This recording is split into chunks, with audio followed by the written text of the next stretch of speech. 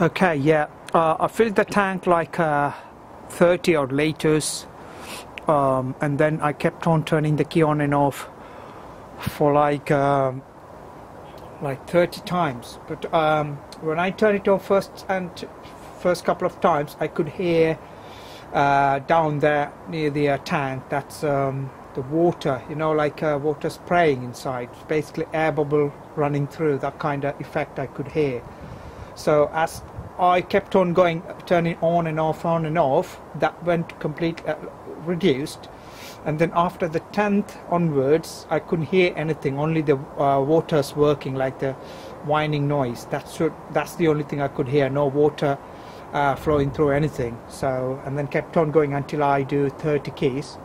And now, uh, yeah, the pressure is uh, a lot better. So I'm going to go and, um, as you could say zero. Um, I'm going to go and turn the ignition on, and you'll see the pressure.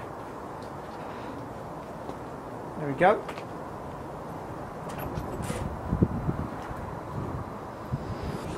Right, that's reading 55, 56 psi. That's above 3.8 bar. It goes down to zero. I didn't do anything, it went down to zero itself. Doing it again. Ignition off. On. I could I could hear a relay ticking, so that means uh, in six seconds. Right, okay, relay.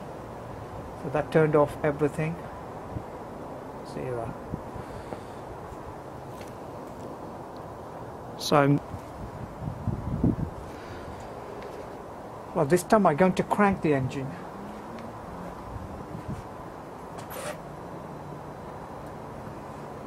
Cranking